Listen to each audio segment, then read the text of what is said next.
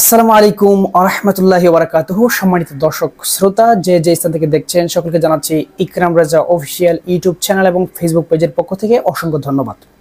বিজ্ঞানীরা কালোজিরা নিয়ে একটি গবেষণা চালায় এবং সেই গবেষণার মধ্যে নব্বই জন মহিলাকে নিয়ে তারা মূলত প্রথমেই গবেষণাটা শুরু করেন।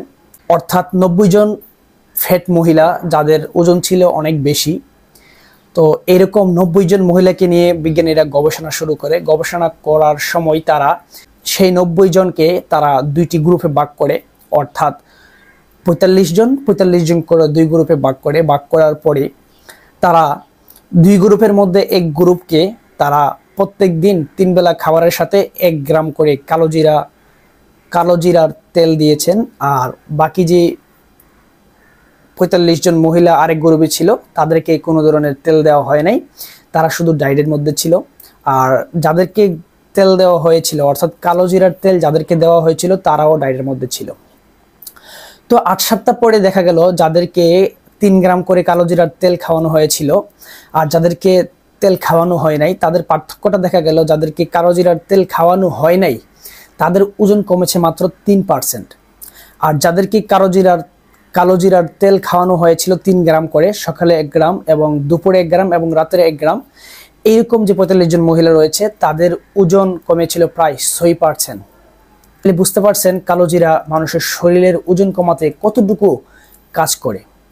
এছাড়াও আরও একটি গবেষণা ইরানের মধ্যে ইরানের মধ্যে প্রায় আষট্টি জন পুরুষের উপর চালানো হয়, যাদের প্রযোজন ক্ষমতা ছিলই না, একদম কম ছিল। এইরকম আটষট্টি জন পুরুষকে দুই ভাগে চৌত্রিশ জন, তো চৌত্রিশ জন করে দুই ভাগে ভাগ করা হয় এবং তাদের এক গ্রুপকে দিনের মধ্যে পাঁচ গ্রাম করে, অর্থাৎ দুপুরে আড়াই গ্রাম এবং রাতের খাবারের সাথে আড়াই গ্রাম। মোট পাঁচ গ্রাম কালো জিরার তেল খাওয়ানো হয় আর চৌত্রিশ জনকে কোনো কিছুই খাওয়ানো হয় না, তারা সাধারণভাবে ছিল।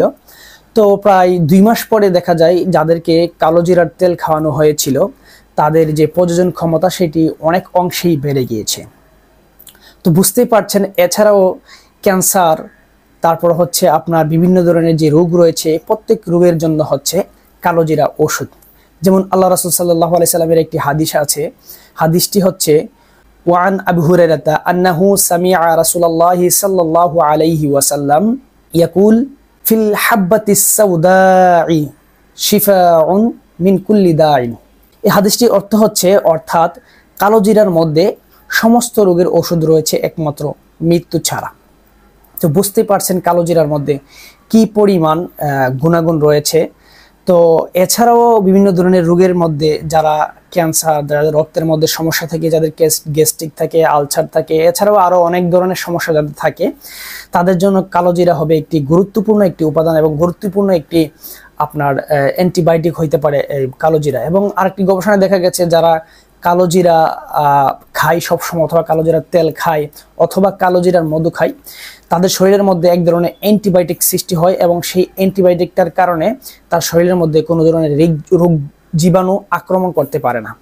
তো বুঝতেই পারছেন কালো জিরা মানুষের জন্য কতটুকু উপযোগী।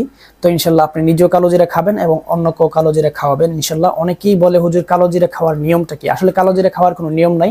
আপনি কালো জিরার তেল ভাতের সাথে খাইতে পারেন কালো জিরার তেল এমনি খেতে পারেন কালো জিরার চাবিয়ে খেতে পারেন। অর্থাৎ আপনার যেভাবে ভালো মনে হয়, সেভাবে আপনি খেতে পারবেন। হ্যাঁ তবে এক্ষেত্রে কালো জিরার পরিমাণটা কম হবে। কালো জিরা বেশি পরিমাণে খেলে সমস্যা হওয়ার সম্ভাবনা আছে। অন্য কোনো সময় অন্য কোনো ভিডিও নিয়ে আপনাদের সামনে আবারও দেখা হবে। এই পর্যন্ত সুস্থ থাকবেন, ভালো থাকবেন। যারা এখনও আমার চ্যানেলটি সাবস্ক্রাইব করেন নাই, আমার চ্যানেলটি সাবস্ক্রাইব করে পাশে থাকবেন। অন্য সময় দেখা হবে। আসসালামু আলাইকুম ও রহমতুল্লাহি ওবরাকাতুহ